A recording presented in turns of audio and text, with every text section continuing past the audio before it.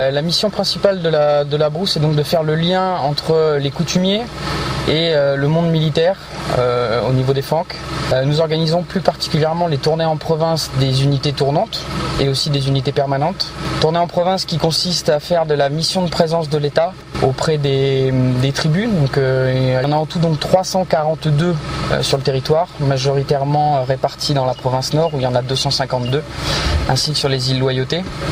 Euh, nous nous occupons aussi d'envoyer des détachements en tournée de présence à Wallis et Futuna. Il s'agit pour les détachements de venir s'immerger pendant une semaine euh, dans la culture kanak. Euh, pendant une semaine au contact de la tribu pour vraiment comprendre toute la complexité coutumière et socio-économique de ce territoire. C'est une manière bah, d'échanger aussi, on parle beaucoup de, de destin commun ici, ça passera aussi par la connaissance mutuelle, le dialogue. Et c'est bien dans ce but que nous envoyons des détachements euh, à peu près à un rythme de 50 par an. Voilà, la base, la base de l'émission est vraiment l'échange, l'immersion et l'échange. C'est très, très important.